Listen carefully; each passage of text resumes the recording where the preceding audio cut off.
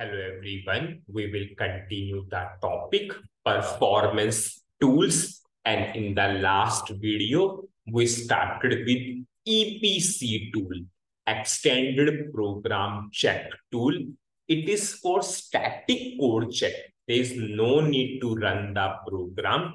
It will static, it will do the static code checking of the program. And it is very good tool at least whatever the unwanted code you have done in the program, at least it will identify all those things. Suppose I declared 20, 30 variables and I'm not at all using in the program.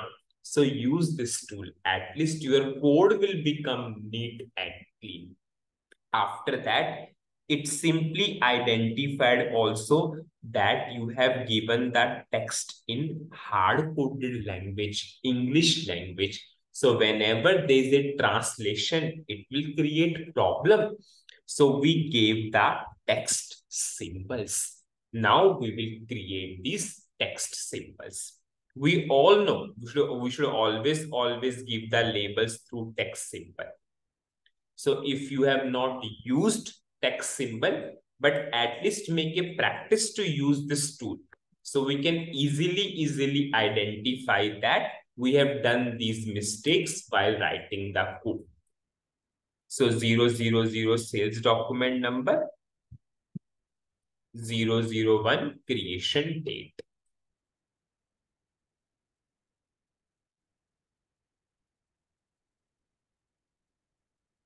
Now we will go for next 002 time.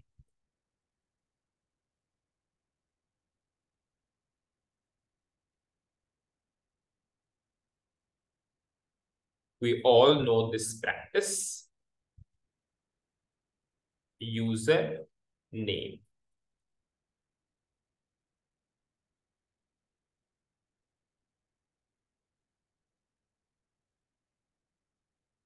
Now we will go for next thing, item number.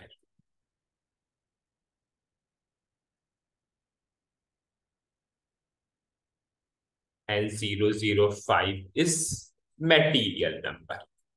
So I will increase the length. Suppose I'm saying 10. Here I will write now item number.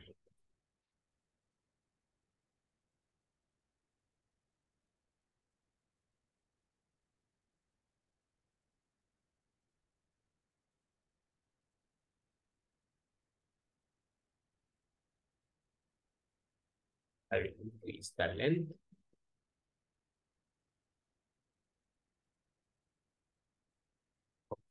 Now it is accepted. I will go for now 005 material number.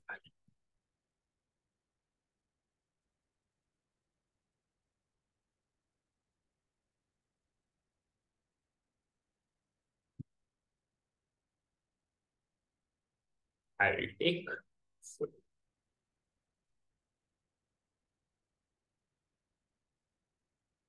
I will activate. So we created the text symbols for all the six text. With the help of text symbol, we are providing the text. Now, if I will go to program, check, extended program check, I will select all the check boxes. And you can see previously we have six errors in front of character string. Now we do not have any error. Now we will come on to next thing. I will come to this error call function slash method interfaces. This is just, I took one example you might have different program, you might have different sort of uh, warnings, errors, or messages in your extended program check. So I'm just taking the examples that you will face this, this, this kind of error messages or warnings in the extended program check. If I will come to this error, it is clearly saying you are using reuse ALV grid display, but you have not uncommented the exception. If I will double click here, to see, we used reuse ALV grid display function module. Suppose some runtime error triggered because suppose we have not given the right field catalog or some mistake is there we have not uncommented the exception. So system will simply, simply throw runtime error. So have you seen this is always a best practice. Always, always uncomment the exception. By mistake, we have not analyzed these things, but extended program check is helping us to correct all those things. So we will uncomment the exception it is so that runtime error will not come.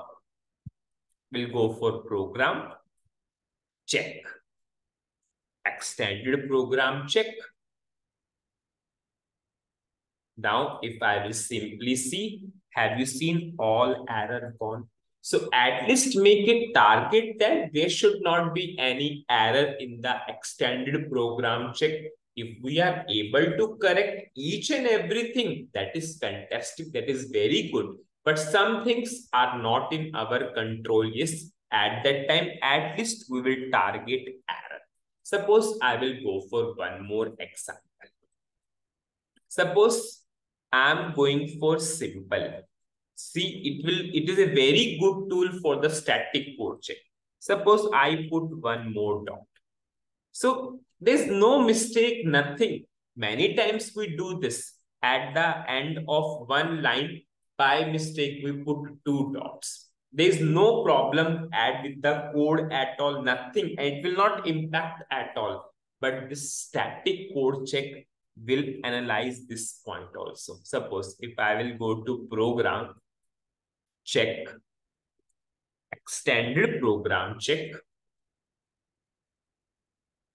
if I will go for run, we are getting superfluous statements too. If I will double click, it is clearly saying the line contains a single period, means line should contain a single period. If I will go again,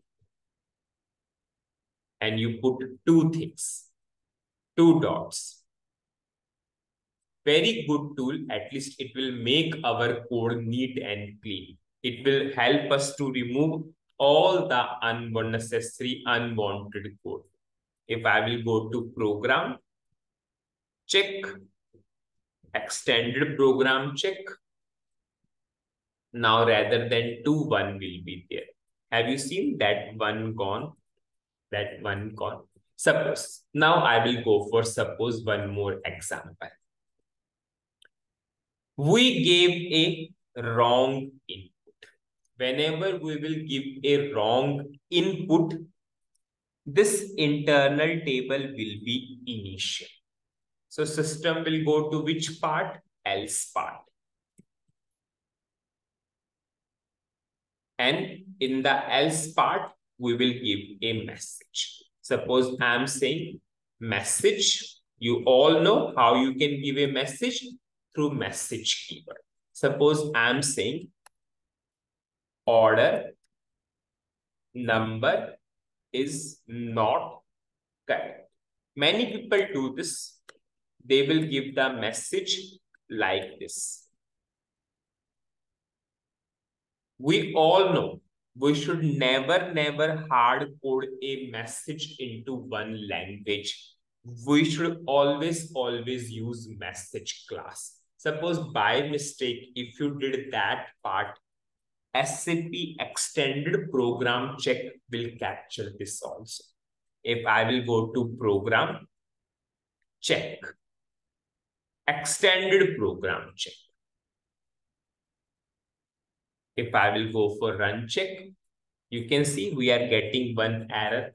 And it is clearly saying string without text elements are not translated.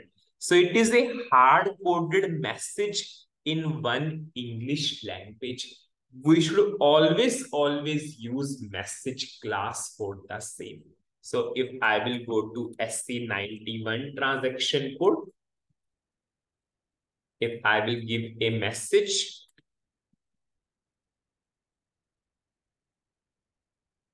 I will simply give a message, order number is not correct. I will go for save. Now I will give the message with the help of this message class message E002. What is the message number? 002. And what is the message class? ZMSG. We know all those things, but if by mistake we have not following, so at least we should make a practice to use this tool. So if I will go to program, check, extended program check, and you can see that error column. So this is the way how you can use this particular tool, extended program check. So what is the full summary of the video? Now we covered the tool EPC. EPC means extended program check. How it is different from ST05 or SAT on those tools, in those tools, ST05 and SAT, you run the program. But in this case, we are not running the program. We are going for static code check. And we saw so many things. Suppose we did some unwanted declaration. So it captured that also. Suppose we put two dots. It captured that also. Suppose we are going for the text in hard-coded language, it captured that also. Suppose by mistake we forgot to uncomment the exceptions, so it captured that also. So it is statically checking the code and always make a practice that in your extended program check, at least errors should not be there. It is very good tool which helps us to remove all unnecessary code, all unwanted code from our program. So this is all about the extended program check tool. So that's it in this video. Thank you.